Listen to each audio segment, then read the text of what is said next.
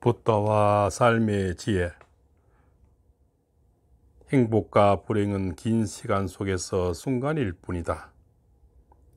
다시 돌아가 자기를 의지하고 진리를 의지하라. 인생에 과연 행불행이 있는가? 이것은 행복한 삶, 저것은 불행한 삶이라고 나눌 수 있는 기준은 무엇인가?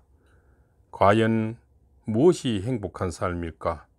이런 물음에 붓다는 나만 믿고 의지하라고 답하지 않고 단지 너 자신과 진리만 의지하라고 대답했다.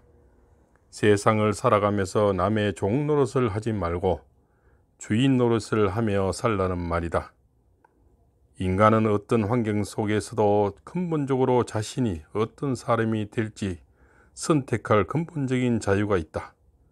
이것이 제2차 세계대전 중 나치 수용소에 감금되었던 정신의학자 빅토로 프랭클이 발견한 인간이 지닌 고대의 자유이다.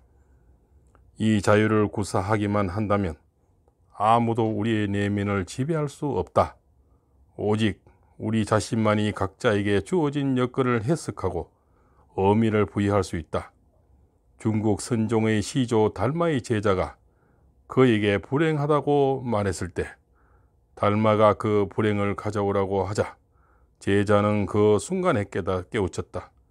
달마가 행 불행을 구분하지 않았던 것도 고독하기를 마다하지 않았던 것도 모두가 지나가기 때문이다.